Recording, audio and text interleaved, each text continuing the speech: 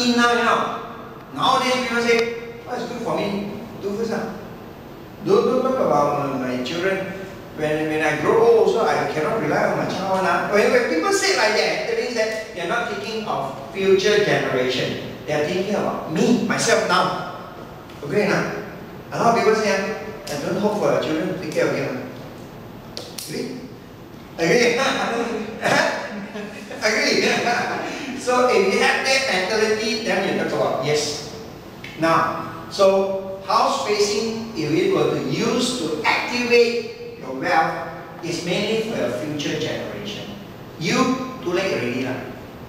Like they Because if you want to use house facing, you have to actually enhance for a period of time. But, but that period of time, you don't have that time.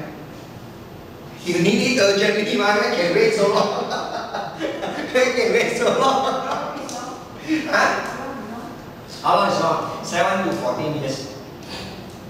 So, next generation ah. True? And the longest is 21 years ah. So certain people need 21 years before the house facing able to enhance on them. See? Huh? So feng shui is for three generations. So whenever we use the house facing, as a feng shui practitioner, you see that the patriarch or the matriarch will hope them. You understand what I mean by will them? Today the person who asks you to come and actually check on the feng shui is actually a farmer. Oh, farmer is still farmer already lah. What else can you change for him? Go able. Every month, the most he made is 5,000 ringgit. So now he said, you ask me to make 5 million can. so the hope is placed on future generation. Okay. Activate the house facing. Yes. Which house, uh, let's say over, over a period, uh, shift house a few times, which house to take? No lah, the one that you're currently okay. saying, shift house, that one harm you stagnant there. Say or parent one. Uh, parent one, then your parent is for the future generation. Your one, you for your future generation. That means we are staying now.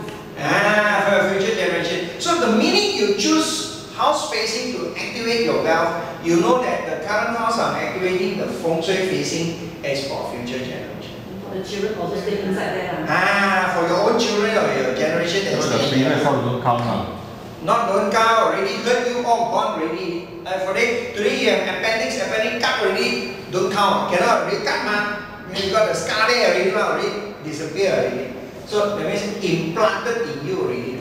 So what did you say? This one already activated nice. Then you got the uh, better life already. You go and shift another house. Yes. So this house is same thing, ma. A tree growing when you this one maybe from the very beginning is all grow very well. You move this tree to another place, it grow even better. Go better and better lah. But if you don't manage it, this one already harm stunted already, ma. You move to the next one. Same. Matter how you grow, also see what I mean you have to clear off all these old debts before you restart again. Huh? True? So that's why feng shui is important. Why?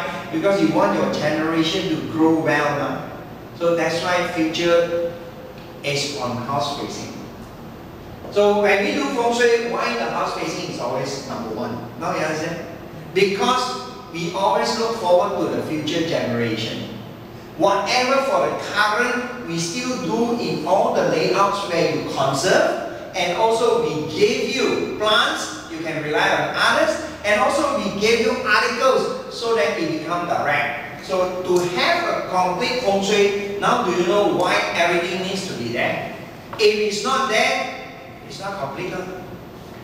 Not complete, the feng shui master is the master who determine your future I say facing, you got no choice, man. nothing to rely on, so you only do facing for future generation.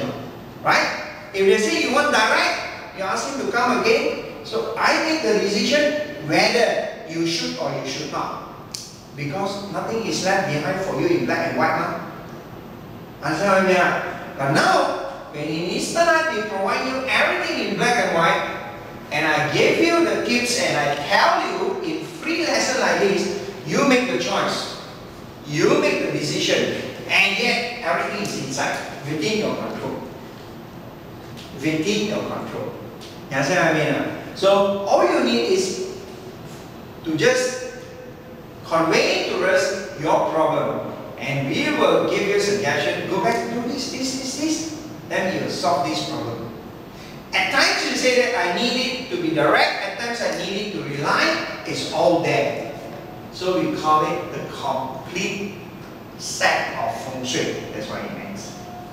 Okay? So at times people say, hey, the house facing, uh, I don't want to solve that. Not important lah, just put plants can lah. It's hard. So big surface, don't want to paint because very expensive. Uh, paint outside which can call. Just only use plant can, can also. But not complete. lah. So what about future generation? You make the choice, I didn't make the choice. I cannot force you. Do you understand that? Your decision in that particular aspect, you have to come to, you know, be very clear of it uh, is. Okay, so today we are only learning on fish tank. Not even fish pond. Huh? The difference between fish pond and fish tank, uh, we are teaching you fish tank, not fish pond. Okay, but I must first differentiate between fish tank and fish pond. What's the difference between fish pond and fish tank?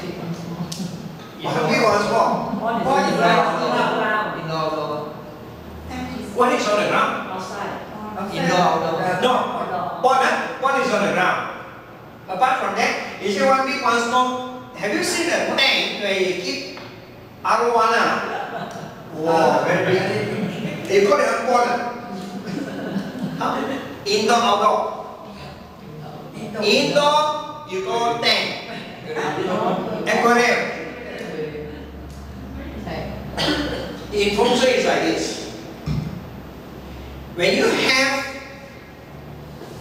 on the ground, on the ground, when you dig it deep, dig it deep into the ground, make it into a pond. How deep? Eh? How deep also, as long as it's deep, deep in the ground, in the ground, with the width, width, you know, not length, you know, width, at least six feet wide. That is known as pond. If you have a 20 feet long one with only 2 feet wide, it's still a tank. Even though it's in the ground. Even though it's in the ground. So, fish pond or fish tank always talk about the width. Don't talk about the length. Okay, talk about the width. And if it's in the ground, 6 feet wide, then call a pond.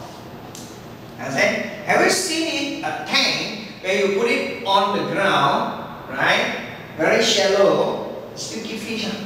small, small one. Right? That one is known as fish tank, not fish pond. okay, you put it in your garden, indoor, outdoor, put it on the ground or put it above ground. As long as it's less than six feet, it's still fish tank. Okay? So fish pond is in the ground, six feet wide, at least six feet wide. But today we are not going to talk about that. Most of you know, if your house have land size of 10,000 square feet, that only can have fish pond. If not, inauspicious. Simple as that. Too much water, inauspicious. Okay? Okay? Understand? Eh? This one understand? ah? So one time ah, you must understand ah, how to differentiate fish tank, fish pond. Next time I teach you fish pond, you know, eh, what do you mean by fish pond? ah, you forget about fish tank, ah. we talk about fish tank. In the feng shui studies, water generates wealth as it is. Mountain generate descendants. That's what we call it.